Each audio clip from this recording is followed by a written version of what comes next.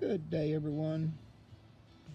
So I've been energetic this morning and I've repotted a curry tree and a couple of mulberries and my large yerba mate trees and I dug out my, this is my miracle fruit and I shared out a bunch of little fruits off of it last year and some folks had good luck and have some beautiful little trees that they have started. And people are always asking about you know how difficult it is.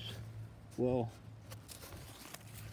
if I can get it turned right these little ones right here have come up from where the berries fail and there's one that's a berry there. So anyway I think there's like three or four here around and about in the pot that have just come up on their own. And so that kind of tell you it ain't real hard to do. And they do seem to do better.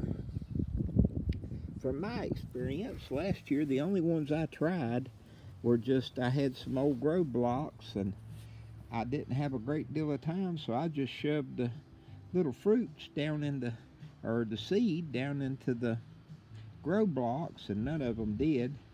And like I said I didn't put no time into it or anything else but like I said I didn't put no time into those either.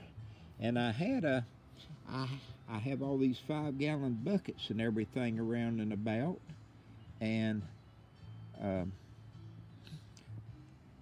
looks like smoke back there in the back the pollen blowing off the oak trees and out of the pine trees black back there. I Probably can't even see it. But anyway, just a, a mist of pollen. And it has been giving me a fit in my eyes and everything. But I did want to just share that, you know, I don't know how this one is going to do. It's had a few blooms on it already this year, but so far I haven't seen any fruit set. But I will probably share out a few of those in some of the boxes with plants and all.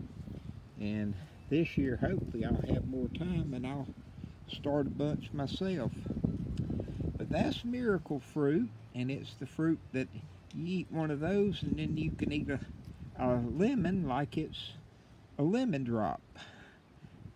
And it makes some way or another it coats your toast, taste buds and makes whatever you're eating sweet.